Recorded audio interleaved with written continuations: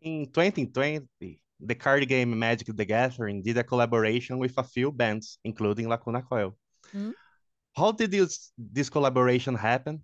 What is your relation to the card game?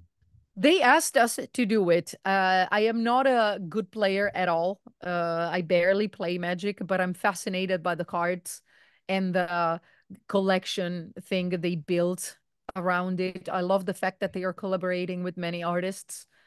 Um, they asked us to do it because those cards were related to metal.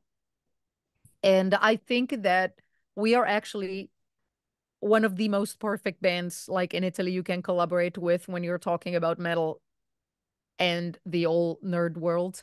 So they asked us to present, you know, those cards uh before before anyone else and, and that was one of the most amazing collaboration. I I hope that we're gonna collaborate more. I did other collaboration with um, Magic the Gathering in Italy because I also am one of the hosts of a TV show that talks about uh, all nerd things from movies, games, table games, uh, and also cards.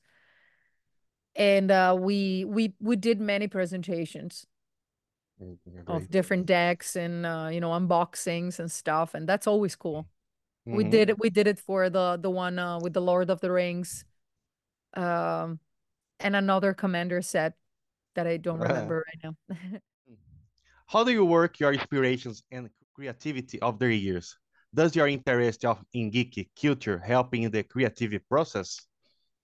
It does. Like look at Never Dawn. Never Dawn was inspired by something geek because mm. the lyrics were inspired by the story behind mm-hmm. that edition of, of Zombicide White Death.